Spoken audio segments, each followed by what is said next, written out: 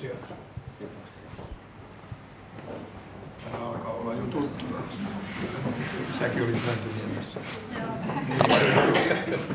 Niin.